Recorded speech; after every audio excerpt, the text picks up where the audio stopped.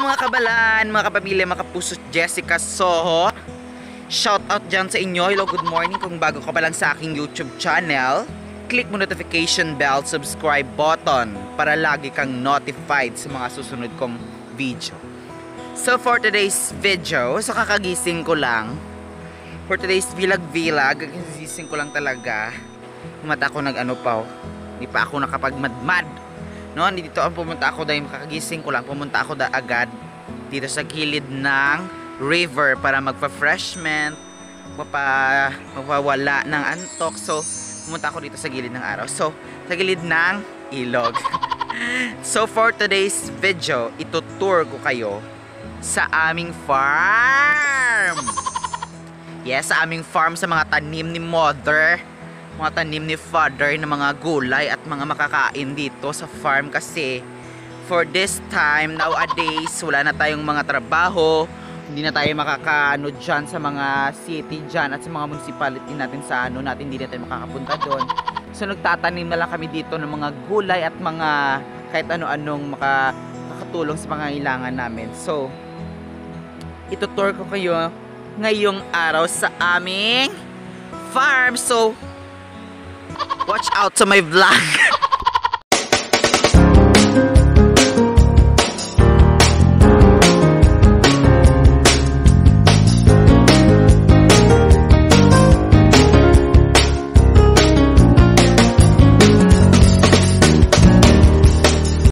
Guys, welcome back again. So, papunta na tayo ngayon sa aming farm.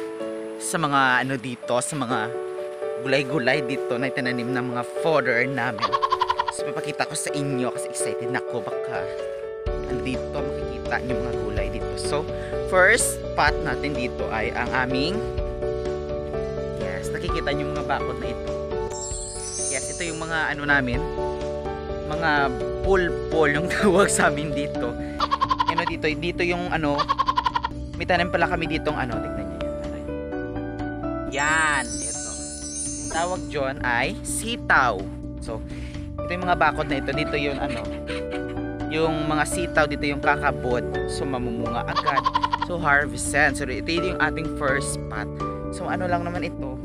Hindi naman masyado ka wide yung taniman namin sapagkat ano lang ano lang ning happy happy lang. So, first spot natin dito yung ating aming mga gulay mga sitaw. Ito yung first spot natin. Sitaw no? So go tayo din sa second spot natin So nakikita nyo yung mga ano yan, bagong ano yan, bagong tanim. Mga bagong tanim na alam nyo yon kung anong tanim dyan. Siyempre hindi nyo alam, no? Siyempre, ako nakakaalam dito, kami lang mga pamilya nakakaalam dito. So bagong tanim yan dito is, ano, talong. Talong, no? May naalala naman ako sa mga talong-talong na dyan, no? Nakikita nyo yung mga talong dyan. Bagong tanim yung mga nursery, mga bagong sibol kasi kakastart lang namin magtanim. So, third spot natin yung aming kamoting kahoy. Charot. Mga kasava. Mga kasava, no? Kasi ito kahit wala na kayong bigas, wala na kayong mga makakain dyan, pwede itong napakaganda ito no? napaka-fresh from the farm. Mm -hmm. Sarap itong mga dahon dito. Mga tangkay dito. Ah, napaka-fresh nito, no? So, dito kami sa third spot natin. Yung aming kamoting kahoy. Napakasarap niyang kainin. No? Namimiss ko nung kain kapag lagyan niya ng mga ano. Ay, napakasarap. So, pumunta naman tayo sa support spot natin ngayon ang aming mga okra. Mga okray dyan. Napakasarap ng okra. Napakadulas. Ay, mga dulas-dulas na yan. May naalala naman ako sa mga dulas na ito. Yung okra namin tanim ito ng nanay. No? Ng mother. Kasi napakaganda masustansya kapag ano lang yung steam okra napakasarap iulam napaka-fresh na fresh. Oh yummy yes. Oh. yes. Pumunta naman tayo sa mga ano namin sa fifth spot.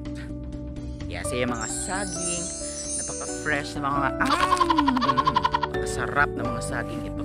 Kasi mga tao dito parang mga matching so kami lagi ng mga saging para mabunga-bunga na siya. Ito na tayo sa ating last sa aming kamote, kamote, kamote, sweet potato, yan. Sa kaalaman ng lahat, yung English ng kamote is sweet potato. So, dito tayo ngayon. Napakarami kami dito mga variety ng kamote. Na itinanim ni mother kasi meron ditong violet na type ng kamote. May yellow, mga ganun-ganun napakasarap, napaka-fresh na fresh no? so ayun guys wala na kayong maano dito sa aming farm. Yun lang. Yun ang aming farm dito no? Diba? Ang hirap lang namin no? Pero napakasaya dito sa sa farm no? Sa bukid no? All of things here is no payment. Yes yun ang masasabi ko dito. Wala kang ano dito wala kang ibabayad. Talagang ang ano mo lang ang pawis at dugo yung pursigi mo sa pagtatanim. So lahat ng yan ay ano lang permanent lang yan yung yung ano pawis yung pagod. Kasi kapag na-harvest na yan wala nang ano dyan. Wala nang atrasa napakasarap na kumain ng mga kamuti dyan. Ay mga ah, napakasarap dito no? So yun lang yung aming dito mga ano dito sa bahay. So guys no? Supportahan nyo naman ako oy. I-subscribe mo naman yung YouTube channel ko para ano na tayo umabot na tayo ng 500 subscribers. So guys thank you thank you for watching my happy to be part so happy to me nga naging party kayo ng aking buhay no? So yun lang guys. Salamat sa pag sa pag ano basta sa panood ng aking video no? Subscribe nyo naman ang aking video. Thanks for watching. So yan lang po ating vlog for today. Thank you